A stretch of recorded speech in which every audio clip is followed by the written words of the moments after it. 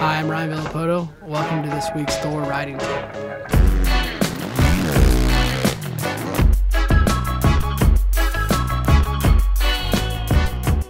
Right hand bowl turn going into the whoops here at my house. Um, it's obviously a little bit tougher. It's been raining out. Um, it's got a, a rut that basically starts from the beginning to the end that goes into the whoops. Um, it's obvi- that's obviously harder than just a nice bowl turn that has no rut in it. Um, the dirt's a little bit softer, so you gotta be a little bit easier on the easier on the front brake. Um, what I do, obviously, there's a rhythm section before it. the last rhythm section is just a double into the turn, and uh, I just do the double, look into the turn.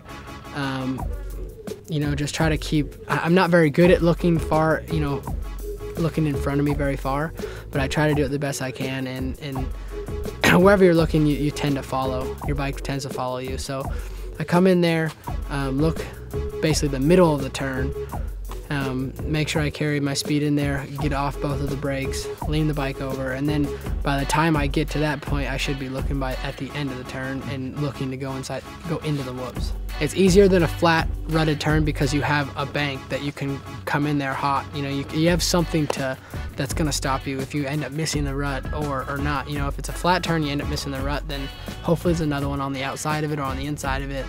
If not, you kind of just gotta try to turn the bike where it's flat. But this here, if you miss the rut, then you have something that's behind you that you can that you can turn off as long as you don't go over the berm. Um, body positioning when I when I come in the turn, like I said, I look towards the middle of the turn, get it, come in there with with my speed, let off both of the brakes, um, sit down, foot's out, and middle of the bike. Really, I not I would I don't ride like really far forward in the rut. You more you more kind of almost not like sitting back, but middle of the bike and and like I said, looking forward going into the whoops.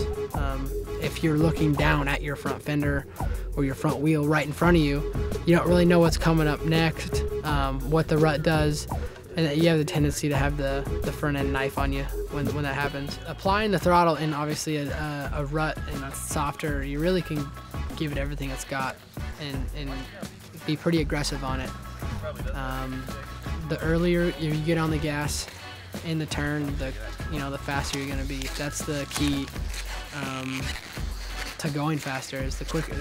All, all the times made up in turns on a supercross track or in motocrossing. Everybody goes down the straightaways really the same speed or they can but you know it depends on how fast you do that corner that comes on, onto the straightaway that is is determines if you're going to pass that guy or not you know so um, the quicker you get on the gas the smoother you are in the turn the faster you're going to be